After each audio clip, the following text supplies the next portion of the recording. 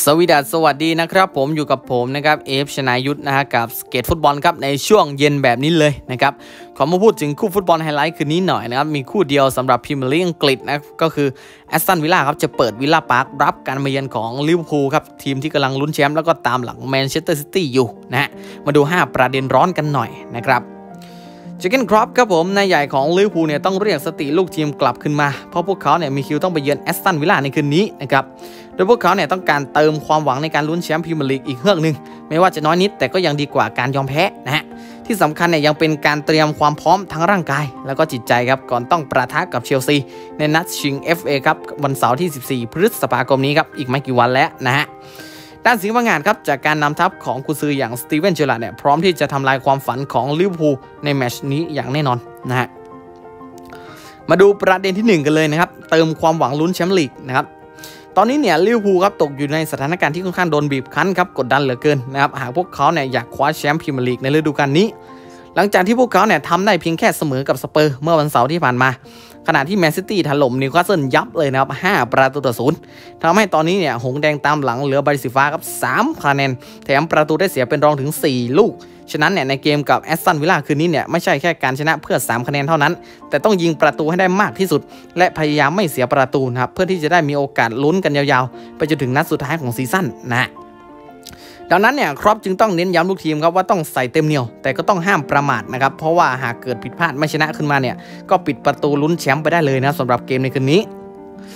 ประเด็นที่2ครับคูตินโยอันตรายทุกวินาทีนะ สตีเวนเจอร์ราร์ดเนี่ยสร้างทัพสิงห์พังงานได้อย่างยอดเยี่ยมนับตั้งแต่เข้ามาคุมทีมนะครับโดยหนึ่งในเหตุผลที่ทำให้พวกเขาเนี่ยฟอร์มโดดเด่นก็คือการได้ตัวฟิลิปเป้คูตินโยเนี่ยมาช่วยสร้างสรรค์เกมนะครับโดยคูตินโยเนี่ยโชว์ฟอร์มได้อย่างยอดเยี่ยมจริงๆครับตลอดการลงเล่น 15 เกมในพรีเมียร์ลีกพร้อมยิงไปแล้ว 5 ประตูครับกับ 3 แอสซิสต์นะครับแม้ช่วงที่ผ่านมาครับอิทธิพลของเขาเนี่ยอาจจะดูลดลงไปบ้างแถมสตีเวนเจอร์ราร์ดเนี่ยก็ไม่ค่อยให้เขาเนี่ยลงเล่นตัวจริงสักเท่าไหร่ และทำให้ผลงาน drop ตั้งแต่กลางเดือนมีนาคมนะฮะ แต่ด้วยศักยภาพของเจ้าตัวเนี่ยเชื่อว่ายังคงอันตรายเมื่อได้ลงโอกาสลงสนามนะฮะนอกจากนี้เนี่ยสิ่งที่ The Reds ลิเวอร์พูลเนี่ยต้องระวังเอาไว้ให้ดีก็คือแดนนี่อิงส์นะครับอดีตหัวหอกลิเวอร์พูลเพราะเจ้าตัวเนี่ยมีลุ้นที่จะกลายเป็นนักเตะคนแรกนับตั้งแต่ลูกากูในฤดูกาล 2017 ถึง 2018 นะครับที่สามารถยิงประตูต้นสังกัดเก่า 3 สโมสรได้ในการเล่นพรีเมียร์ลีกนะฮะมาดูประเด็นที่ 3 กันเลยนะครับ เกมนอกบ้านลิเวอร์พูลก็ยังโหดเหมือนเดิมนะฮะ หงส์แดงลิเวอร์พูลครับได้ชื่อว่าทำผลงานในการเล่นที่แอนฟิลด์เนี่ยได้โหดมากๆ ในฤดูกาลนี้ โดยพวกเขาเนี่ยเพิ่งจะเสมอกับสเปอร์สนะครับจากการลงเล่น 13 แมตช์ชนะ 12 เกมติดต่อกัน สำหรับฟอร์มการเล่นนอกบ้านก็ถือว่าไม่ธรรมดาเช่นกันนะครับ เพราะพวกเขาเนี่ยแพ้เลสเตอร์ศูนย์ประตูต่อหนึ่งคาถิ่นคิงพาวเวอร์สเตเดียมซึ่งเป็นการแพ้เกมเยือนนัดเดียวเท่านั้นที่ไม่ยิงประตูเลยสำหรับลิเวอร์พูลนะครับแพ้เกมเยือนลิวอ่าเวสต์แฮมสามประตูต่อสองขณะเดียวกันฟอร์มของลิเวอร์พูลก็ต้องบอกว่าดุดันและน่าเกรงขามเนื่องจากพวกเขาเนี่ยเป็นทีมเดียวใน 5 ลีกใหญ่ของยุโรปครับที่ไม่แพ้เกมลีกในปี 2022 ชนะไป 13 เกมเสมอไป 3 เกมนะครับ ประเด็นที่ 4 ครับขุมกำลังสมบูรณ์ แต่อาจจะต้องมีการปรับเปลี่ยน rotation นักเตะนะฮะลิเวอร์พูลครับค่อนข้างโชคดีที่ไม่ค่อยมีปัญหานักเตะบาดเจ็บนะครับ โดยตอนนี้เนี่ยคล็อปป์มีขุมกำลังเต็มอัตราศึก ที่สามารถเลือกใช้งานได้อย่างเต็มที่ โดยโรแบร์โต้ฟีร์มีโน่เนี่ยกลับมาซ้อมกับเพื่อนร่วมทีมได้แล้วนะครับ หลังจากที่อาการบาดเจ็บข้อเท้าเนี่ยหายเป็นปลิดทิ้งนะครับที่สำคัญเนี่ยทีมไม่มีนักเตะคนไหนบาดเจ็บ หลังจากจบเกมกับสเปอร์วันนั้นเลยนะครับ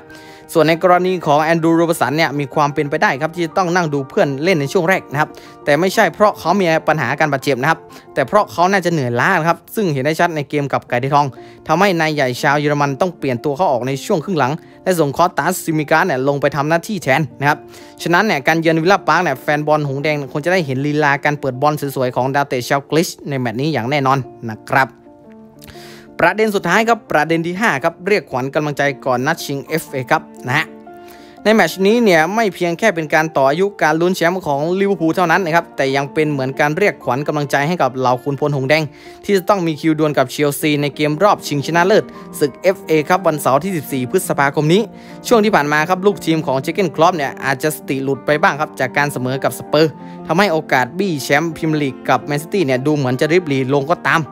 ฉะนั้นเนี่ยหากสามารถบุกเก็บสามแต้มในเกมกับวิลล่าในคืนนี้นะฮะนั่นจะทำให้พวกเขาเนี่ยกลับมามีสมาธิและความฮึกเหิมอีกครั้งนะครับโดยเฉพาะการที่จะต้องปะทะกับสิงโตน้ำเงินครามที่มุ่งมั่นจะแก้แค้นเดอะเรดลิเวอร์พูลเนี่ยจะต้องการจากการพ่ายดวลจุดโทษครับชิง trophy คาราบาวครับเมื่อปลายเดือนกุมภาพันธ์ที่ผ่านมา อย่าลืมว่าลิเวอร์พูลเนี่ยสามารถคว้าแชมป์เอฟเอคัพได้นั่นจะทำให้พวกเขาเนี่ยมีความหวังในการลุ้นสี่แชมป์ของพวกเขาในซีซั่นนี้ยังคงอยู่นะครับ ก็คือโอ้โหตอนนี้บีบคั้นมากนะสำหรับลูกทีมของเจอร์เก้นคล็อปป์นะครับ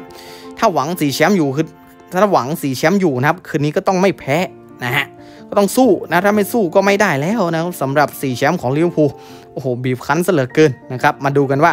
คืนนี้ใครจะ win ใครจะ fail สำหรับแอสตันวิลล่าครับเปิดวิลล่าพาร์คครับการมาเยือนของลิเวอร์พูลในคืนนี้นะฮะมาดูกันนะครับว่าใครจะหมู่ใครจะจ่านะครับติดตามได้ครับเวลาตีสองตามเวลาประเทศไทยนะครับขอบคุณครับที่รับฟังในช่วงเย็นแบบนี้ครับสวีดัสสวัสดีครับ